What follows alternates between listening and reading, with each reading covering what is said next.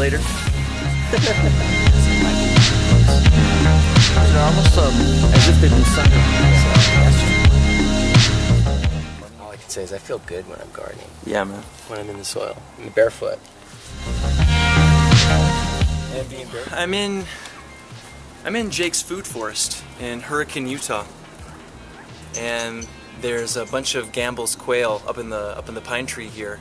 And then some this is like a fig guild all the way through. We've got brown turkey, uh, some Kadotas on the other side, some black mission figs, and then these are all these pomegranates right down here.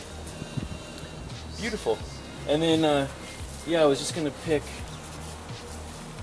um, a couple figs here and uh, I'm gonna give a fig to Jake because he is planting some winter crops and a fig is always nice. Here you go brother. Here's a fig. You're welcome. That one was especially soft. I think it should. It sucked right out. Cheers. they're very sweet.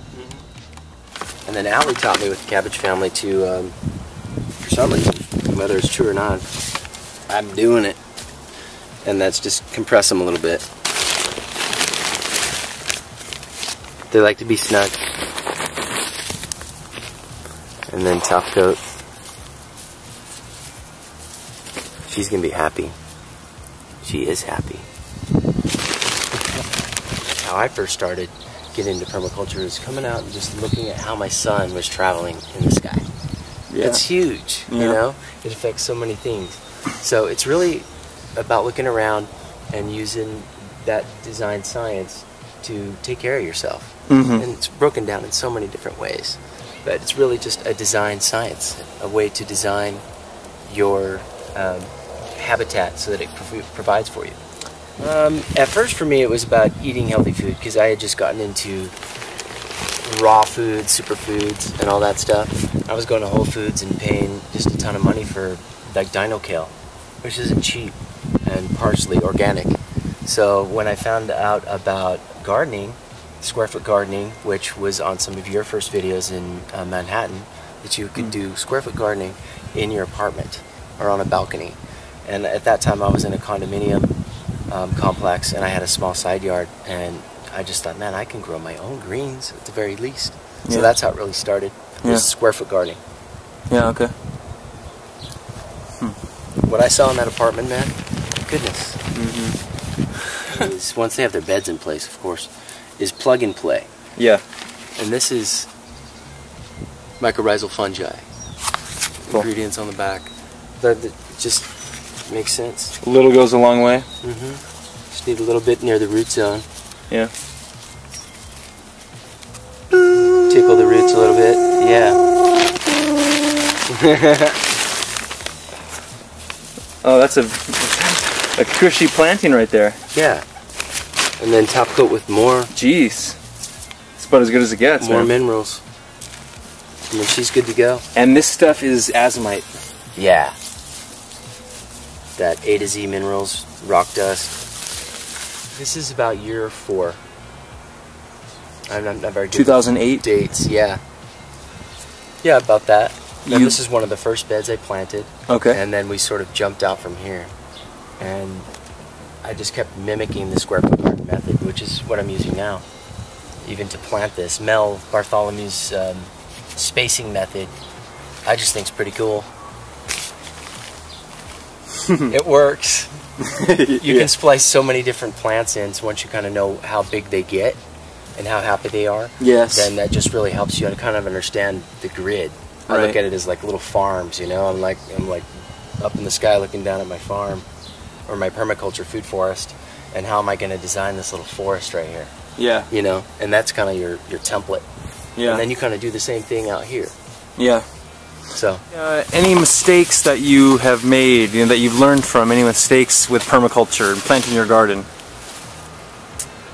Um, tons. I just learned it in my backyard with the mulch layers. Um, how important mulch, mulch layers really are. And um, with the straw, and now I'm going to start migrating to more of a, a bark material, a shredded wood bark material. Yeah. And what's the name of that documentary, Anthony? I thought it was called Back to Eden. Back to Eden.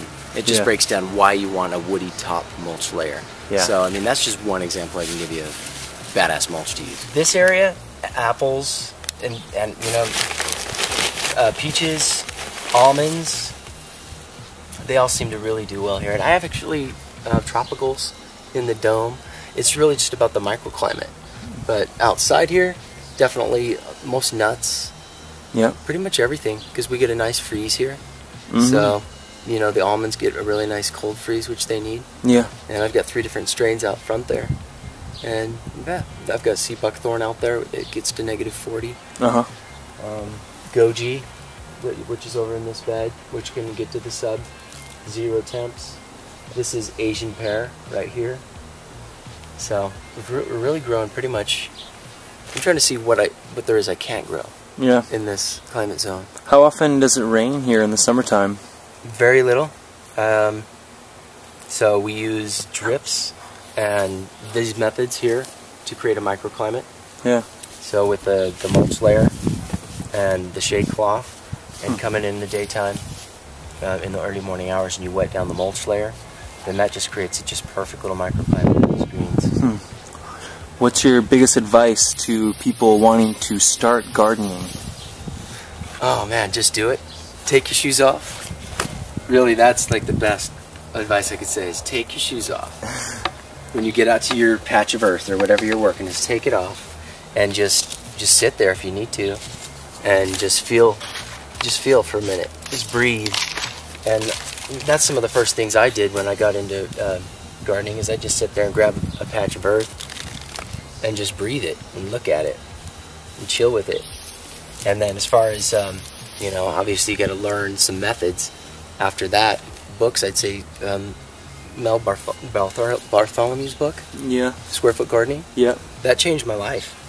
I mean, it's just really easy to read, and it's, it breaks down gardening. And then when you're ready to learn more about food forests, I'd check out Toby Hemenway's book Gaia's Gardening, or Gaia's Garden. Sorry, um, second edition Yes. because it's got a lot, probably 30, 40 more pages or something like that, and some more photos. So, And um. game changer books.